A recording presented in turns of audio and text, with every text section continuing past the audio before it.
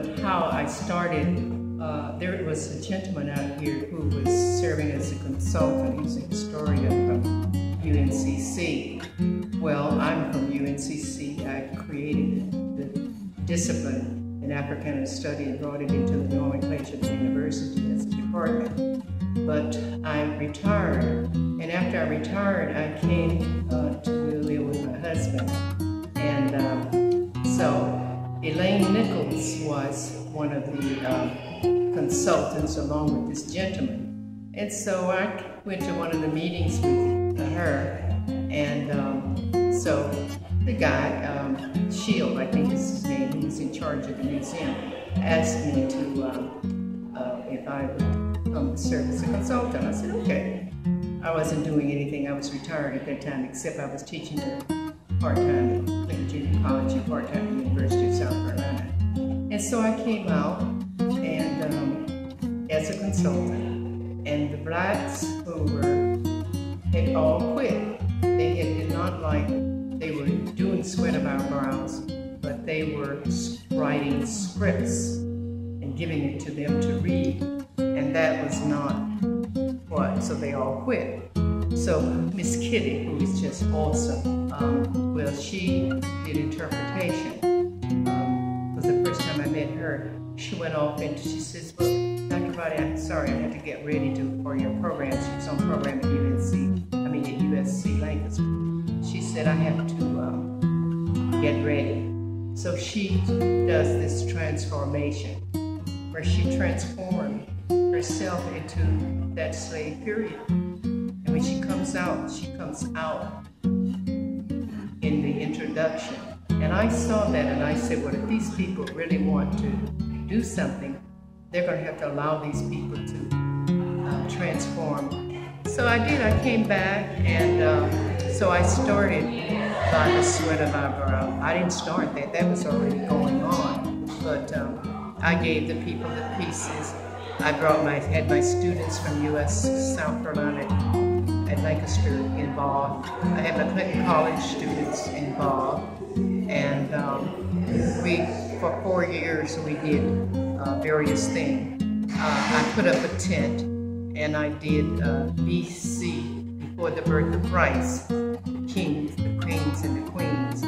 Um, and one of the ladies who received the second award that this museum gave, they gave me the first one. For the second award, they gave it to her because when they would come to her, she would make them kneel.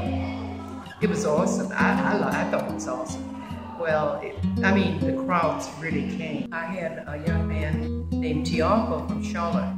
I had him to build a slave ship. And he would have the young men bound. And because, you know, most of the people who came through the Middle Passage really were very young because uh, they had to survive. Uh, and to survive the middle path of the passage from wherever, it took such an uh, awesome, it's an awful, awesome experience on, on the, so many did not survive anyway. After uh, they would do that, I had one of my students to read the Declaration. Um, he was white and I had him dressed, and uh, he said, Roddey, he said, you really didn't give me a part. Say, I expected somebody to come over and slap me over, but when you read the Declaration, uh, and I think that that's what's important too. And some of that, I don't know whether they're still doing it that way or not. But uh, those were some of the kinds of things. And then they would go, just they could see the transition from uh, before the birth of Christ, after the, uh, after the death of Christ. Then they could see that our history, that we were not slaves.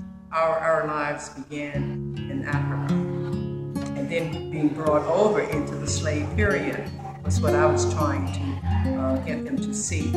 Well, after um, they visit that, then they would go to the first slave cabin. And uh, Miss Kitty was just awesome. Uh, and then some of the ladies that were out there after that, um, uh, they would go to the kitchen. Uh, they, you know, they always had that kitchen thing. I would have one of my students do the fanning, you know, like they used to have the young kids do the fan, and I'd have one of my students dress to Casey fan. So we did a lot of lot of interesting things, and then people would visit all the, the various uh, things. I don't know what they do now because it's been a long time since I've been out here. But it was very important because um, one of the teachers, um, she's an HR person over at York Tech. She when she got to the slave ship, what was he did a marvelous job in building it. And when they were mourning and groaning, she cried. And her little girl said, Mama, what's, what's with you? Why are you crying? But you see, that's what is so much missing. And to me, I thought it was an excellent opportunity for the young kids to see what we had come through and that we didn't just grow up. Then plus the fact, another thing that happened is the fact that uh, the family, some of the families, I was in a church uh, trying to get the families together. Brother Wally carried me out to the church right now, you know where the black church is down there. Um, what I discovered, there were cousins. They didn't even know they were cousins. And they had all grown up at some part of this plantation. So I think I got, I don't know whether it was seven or eight, I don't know. I went over to her house. She was the one that got the second um, uh, plaque from the she, uh, from the museum, from the York Museum. Um, but uh, it was amazing that they, the families started coming together. Um, Lowry's. I had Reverend Lowry's family grew up on this plantation, and he was a minister. And his they, he used, his ancestors, something like his great grandfather, used to go to the church up there. And uh, so it was important. It's important for history because what is missing uh, we don't know anything about our history you don't know where you've been, you don't know where you are, you certainly don't have any idea where you're going.